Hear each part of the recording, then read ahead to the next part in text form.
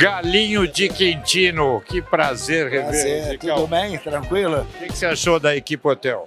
Foi maravilhoso, né? Poder bater um papo, passar um pouco dessa minha experiência Que bom. e é, a gente fica gratificado por isso. Zico, deixe aqui a sua mensagem para os nossos telespectadores. Ah, mandar um grande abraço, né? Parabéns aí por essa cobertura. Dizer da honra e da felicidade de ter recebido esse convite, de estar aqui palestrando, passar um pouco da minha experiência de liderança. Espero que seja proveitosa para quem estava muito. aqui. Você é um ídolo e craque do nosso país, né, Zico? É, a gente procura. E do Japão também, né? É, lá, lá o bicho pegou também. É isso aí. Um abraço Obrigado, aí, tudo de bom.